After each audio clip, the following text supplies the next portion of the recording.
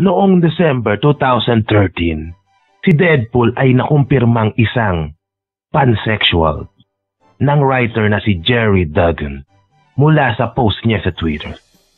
Noong tinanong naman ang co-creator na si Fabian ni Ceza, sinabi nitong ang sexual inclination ni Deadpool ay depende sa dinidikta ng kanyang utak as of the moment. In short, ang kanyang sexuality ay depende sa trip niya.